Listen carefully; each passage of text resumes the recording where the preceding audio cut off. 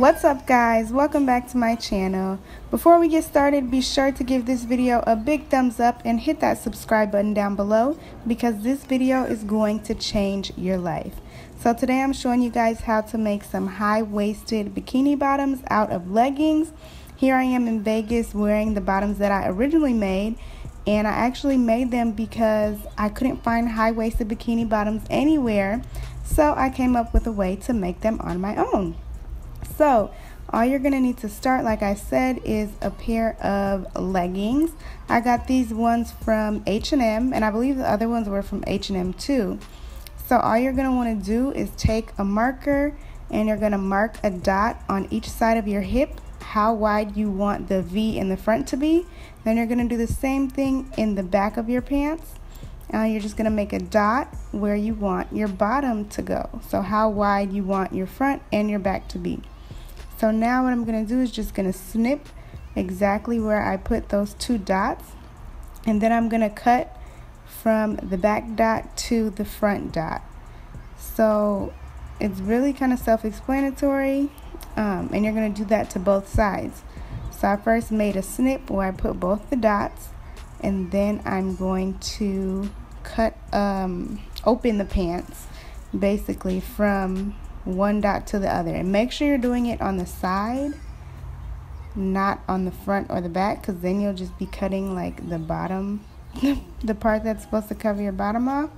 I hope this is making sense. Um, but yeah hopefully you can see as well what you need to do. So as you can see here are the two side flaps that we just cut open.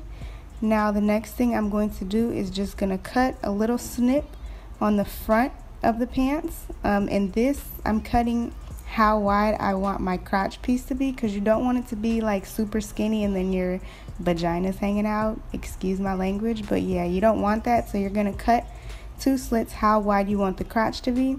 Then you're just going to connect um, the two lines. So from the top where you cut all the way to the bottom where you cut. I really don't know what I'm saying right now, but you guys can see what I'm doing.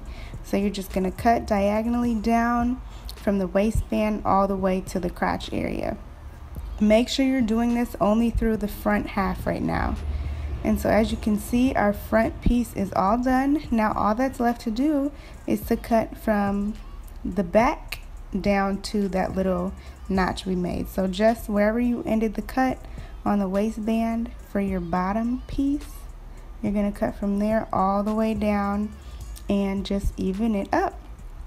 And I apologize for how I'm trying to explain this in words. And there's a loud truck in the background, but hopefully you guys can just see what I'm doing. And yeah, if you have any questions, feel free to ask me down below because I am confused as to what I'm saying right now. So I'm sure you guys are too, but hopefully the visual helps. So you're just going to cut all the way down from that dot you made on the back of your pants all the way down to the crotch area. So that's really it. I decided to add some rhinestones just to spice it up a little bit, but you obviously do not have to.